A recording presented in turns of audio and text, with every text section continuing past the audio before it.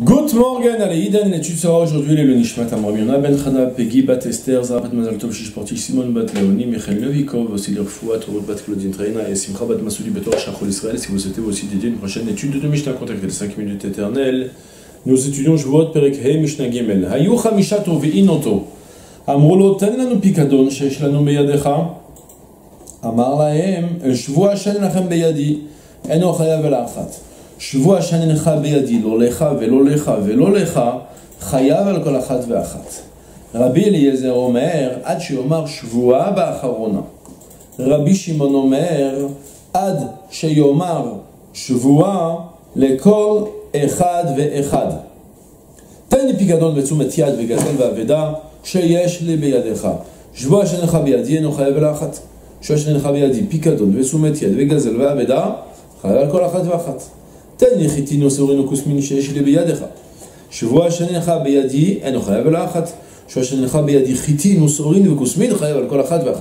Rabbi Meir Omer, Une Mishnah qui paraît longue, mais qui est très courte et qu'on va essayer de transmettre très rapidement. C'est pas compliqué. Notion qu'on a déjà évoquée déjà depuis le Shlishi, la notion de mettre en facteur le moche voua. Lorsque je, je peux, avec lorsque je vais jurer que je ne vais pas utiliser ni ce stylo ni ce stylo. D'accord?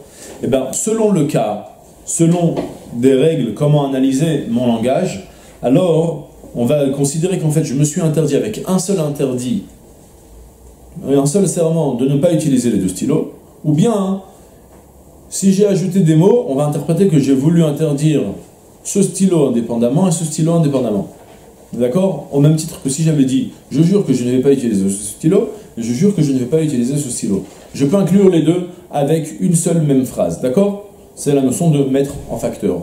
Selon le cas, il y aura quelques petites conditions et c'est un petit peu ce qu'on va toucher dans notre Mishnah. D'accord? La Mishnah maintenant commence à nous enseigner. Ayu Hamisha Tov Inoto. Il va y avoir trois cas de figure, je l'annonce directement, on va avoir trois réclamations, cinq réclamations. Et selon le cas, on va considérer que je vais être Hayav, un seul korban pour toutes les, tout ce que j'ai démenti en même temps, ou bien je vais être Hayav korban sur chacune des réclamations. La première partie de la Mishnah va me parler qu'il y avait cinq personnes qui me réclamaient chacun, chacun quelque chose. La suite de la Mishnah va me dire qu'il y avait une personne qui me, qui me réclamait cinq sortes de causes pour lesquelles je lui donne l'argent. Et la troisième partie de la Mishnah va me dire qu'en fait, c'était une seule cause, un seul dépôt, mais qui était composé de trois espèces ou de cinq espèces à l'intérieur, et que toujours selon le cas, si j'inclus, je rajoute, je vais ajouter des mots qui n'étaient pas nécessaires, alors on va considérer que j'ai mis en facteur le mot serment, le mot chevoua, pour dire que je suis chayav sur chacune des, des hautes, et si j'ai réussi à prendre un un langage concis qui inclut tous les cinq en même temps, donc je ne serai chayav que d'un seul korban parce que je n'ai prononcé qu'une seule chevoua. D'accord? C'est le plan plus ou moins de la Mishnah, avec bien sûr il y avoir une petite marloquette au début et une, une autre marloquette à la fin avec Rabbi Meir. Et on commence tout de suite. Ayou. Il y avait trois personnes qui lui réclamaient. Amrulo, chacun lui a dit, ils lui ont dit, donc chacun lui a dit, Rends-nous les dépôts qu'on a déposés chez toi. Tu étais le gardien. Lui, il avait son porte-monnaie. Et l'autre, il avait, il m'a laissé une enveloppe avec. Et donc chacun me dit Allez, rends-nous l'argent. Et moi, pendant que les cinq m'agressent, je dis Qu'est-ce que vous avez tous? Moi, je ne peux rien, moi, je suis rien du tout. Je vois chez En Lachem Beyadiklum. Je jure que je, je n'ai rien à vous chez moi. Donc j'ai juré avec un seul serment. Après, je fais tchouva je dois apporter un seul korban Hacham. Ça marche? Très bien. Par contre, si j'ai dit, donc c'est ce que nous dit, il ne doit apporter qu'un seul korban Hacham Gezalot. Par contre, je vois au lieu de les inclure tous en même temps, je te dis, qu'est-ce que vous avez tous? Je te jure que je ne te dois rien à toi, ni à toi, ni à toi, ni à toi. Et je répète à cinq fois. Pourquoi je ne les ai pas inclus les cinq en même temps?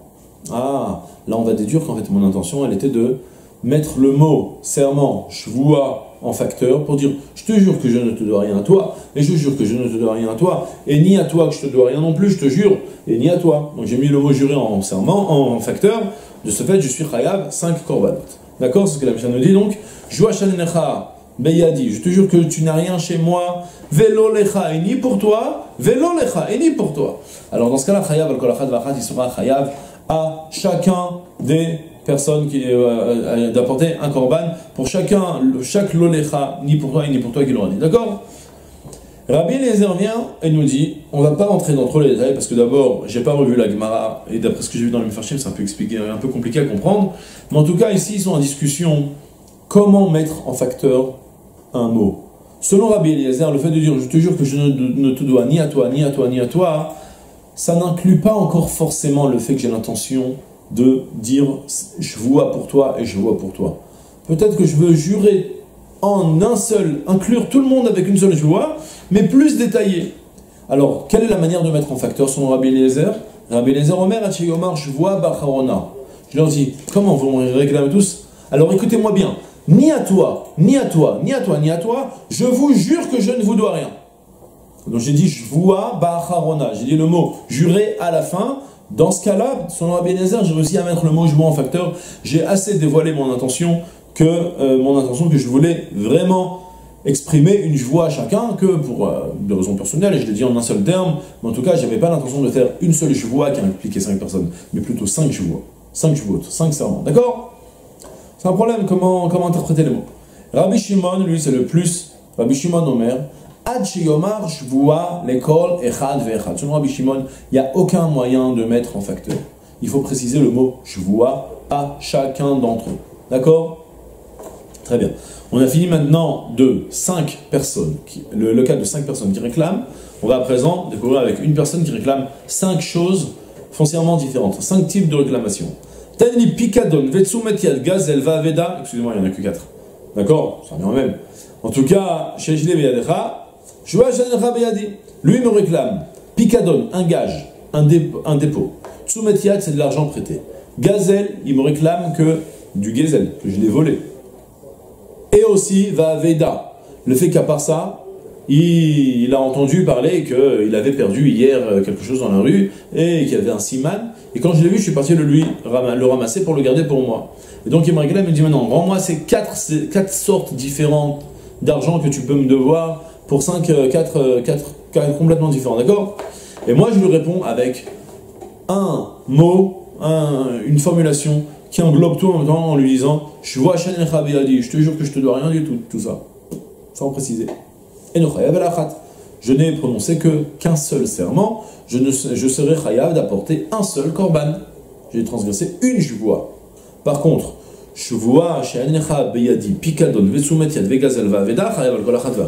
si je lui ai précisé chaque espèce indépendamment en lui disant, je te jure que je ne te dois ni le picadon, le dépôt, ni la tsumetiad, la alva, la sim, d'accord, la, alva, ni le gezel, ni la truc. Donc là, j'ai précisé à chacun le mot, euh, j'ai réussi à mettre le mot je vois en facteur. Et donc je serai chayav 4 korbanot face aux 4, 4 quatre choses que j'ai niées. D'accord? Petit problème technique, là la Mishnah ne nous enseigne pas que Rabbi Eliezer et Rabbi Shimon qui, qui sont Cholkim.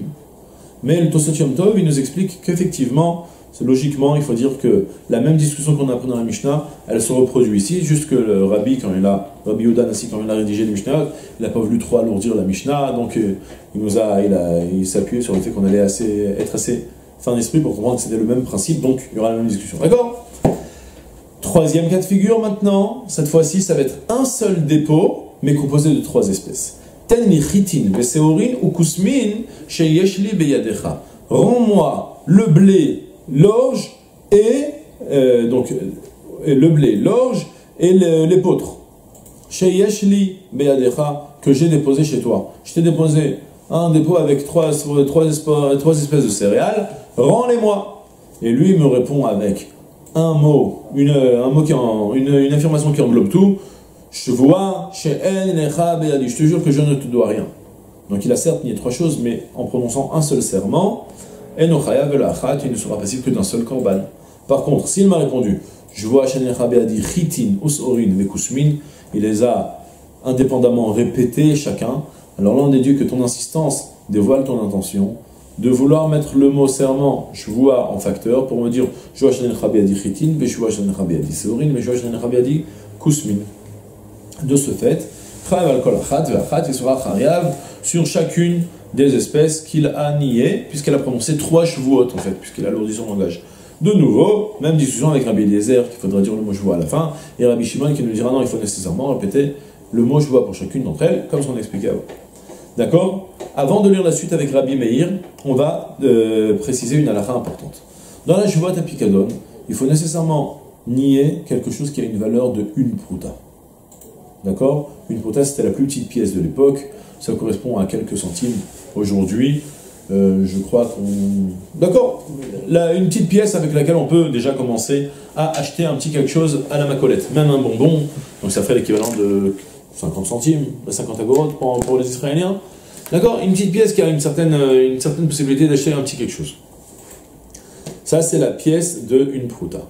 Maintenant, de ce fait, si je jure que je ne te dois pas une pépite, eh ben, je ne serai pas chayav d'apporter le korban vois. Parce qu'il n'y avait pas ici une kfira de une prouta. C'était pas quelque chose qui avait une valeur d'une prouta. Ok? Selon ce principe, qu'est-ce qui se passe si je jure que je ne, te dois pas, tu n'as pas déposé, je jure que je, n'ai pas gardé chez moi le blé et l'orge et l'épeautre. Comment vous interprétez la phrase quand je dis le blé Le grain de blé ou l'espèce de blé? Il y a ici une discussion justement. Et Rabbi Meir nous enseigne. Rabbi Meir Omer, même s'il a dit le blé, l'orge et l'épeautre, chayav al kol achat il sera chayav sur chacun, chacune de ces espèces, étant donné qu'on va interpréter que quand tu as dit chita, ton intention c'est min chita, l'espèce du blé. Tandis que Tanakama, il est cholek sur ça. Et il va nous dire que non. Dans la mesure où j'ai pas dit chita, ça peut être interprété par un grain de blé, peut-être que mon intention en fait elle était de nier que ça, et pas le reste. Et de ce fait, je ne serai pas vacillé d'un korban. Ok On a fini la Mishnah, on fait le Barthénois. Je vois Bacharona. S'il a dit le mot vois Bacharona, on revient sur Rabbi Eliezer qui nous dit que pour mettre en facteur, il fallait dire le mot vois à la fin de la phrase. Jusqu'à qu'il va dire Je ne te dois ni à toi, ni à toi, ni à toi.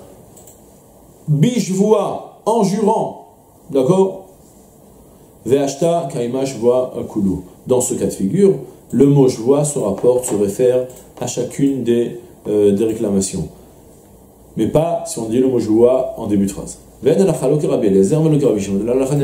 comme Rabbi ni comme Rabbi Shimon mais plutôt comme Tanakama qui nous dit que même si tu dis le mot je vois depuis le début de la phrase, puisque tu as répété lourdement, ton intention était de faire une je vois pour chacune des espèces. Maintenant on passe à la fin de la Mishnah en expliquant la vie de Rabbi Meir, qui nous dit même s'il a dit un blé et un orge et une épeautre, un épeautre, je ne sais pas comment ça se dit, en tout cas, des savants Rabbi Meir, car Rabbi Meir nous dit Atonet chita min chita ka'amar. Selon Rabbi Meir, lorsque quelqu'un réclame on, c'est réclamé. Lorsque quelqu'un réclame à son ami du blé, minchita ka'amar, c'est l'espèce de blé qu'il lui réclame, c'est pas un grain de blé. Vechen seora, idem lorsqu'il lui dit l'orge, vechen kusemet pour la kusemet aussi. Dirtiv, ve'achita vo kusemet, on, me, rapporte un pasouk, il y a marqué là-bas dans, après le barad, dans la fin de parachat, euh, euh, là-bas, ve'achita vo kusemet, euh, lo nuku le blé, le blé, Ve'akusemet, et l'épeautre n'a pas été frappé par la grêle là-bas. Pourquoi? Le, blé, un grain de blé? Non, bien sûr, tu parles de l'espèce du blé. Donc tu vois, va avec donc, donc on constate qu'on dit, on utilise le blé pour définir l'espèce du, blé, mais en fait il y en a beaucoup.